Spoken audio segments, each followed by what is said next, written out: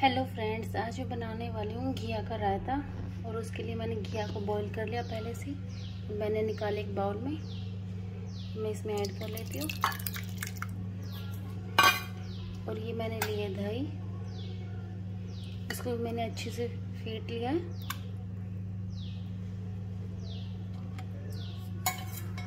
और अब मैं इसमें ऐड करूँ मसाले।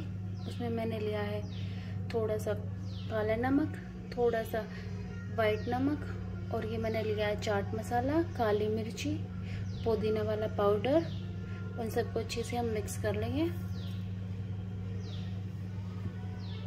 और अब इसमें मैं ऐड करूँ हरी मिर्ची और लहसुन का पेस्ट। अब इन सबको हम अच्छे से मिक्स कर लेंगे।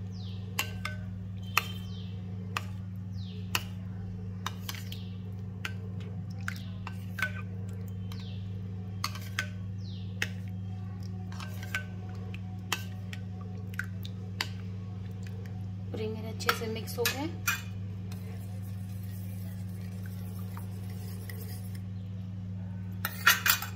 अब मैं इसमें ऐड करूँ थोड़ा सा पुदीना पाउडर थोड़ा सा जीरा पाउडर